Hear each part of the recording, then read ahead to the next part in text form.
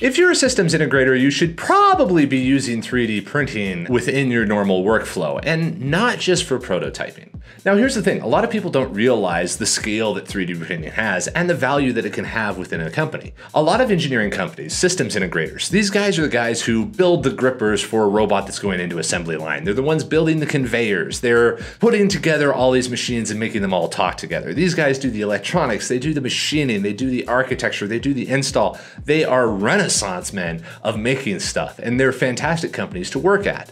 But they're not leveraging printing to the level that they could or maybe even should.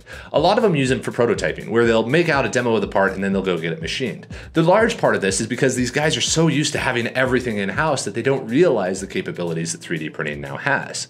For example, these guys live on McMaster-Carr and Misumi, where they can get custom made pieces delivered and made to them. Very often, budget isn't very important, but these can be cases where there's just a huge amount of waste that could be turning into profit if they used printing and it gives a lot more long-term benefits to their end users. So let's do a case here. Someone's building a conveyor system. This conveyor system has to be put together with 2020 extrusion.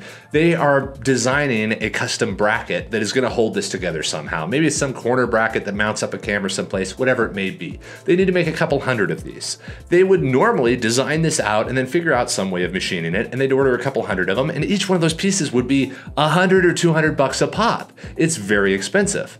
But they could make it with printing. The reason they don't is because they have the printer inside the shop and they look at it and they say, oh, it takes 10 hours to print the part. We don't have time for that. But if they were to take that part and outsource it to a large print farm like us, they could get those 200 pieces and almost get a 10x reduction over machining. But then you have one additional benefit. Once they have that CAD model and they deliver this system to the client where they have this conveyor moving potatoes around or whatever it may be, that part is now available and part of a catalog of spare parts that they can give to the client.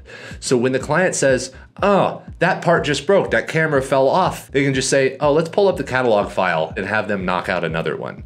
And they can do that immediately and take advantage of all of our supply infrastructure so that they can give their customers peace of mind long term because there is a workflow by which spare parts can be made, replacement parts can be made, ongoing production can be done. And if they create that conveyor system and now they want to make 10 more of them, they're not restricted by the scale and limitations of traditional machining or injection molding. These guys also are able to benefit from the faster lead times. If you're cutting a mold, especially for a reasonably complex part, you can be waiting somewhere between four and 10 weeks for the parts to start showing up. With printing, you're able to start getting your first parts in a couple of weeks, and then they can be delivered throughout the length of the project or more quickly if necessary. So printing gives you more flexibility, gives your long-term client the ability to get spare parts and get a workflow in place to make sure they always have spare parts it allows you to design fully custom pieces rather than doing the kind of generic change the dimension of one arm kind of things that a lot of these large part suppliers do because they have to maintain their systems. And it allows you to do it more affordably so that there's more profit that you can put to the bottom line to work on future projects or develop your team out. So systems integrators who are building these large complex systems are able to take more control in-house, get faster parts, and are able to leverage 3D printing in a way that a lot of people don't really realize. Whether they need 100 parts or 100,000, printing is able to provide those parts. And if you design for it, it can be really good. So if you're a systems integrator, I do recommend, well, quite frankly, reaching out to us to see if the parts can be made for you. It could be anything from a roller to an electrical enclosure to a small bracket on the side of some 2020 aluminum extrusion. Those things can be made at scale and reliably with printing.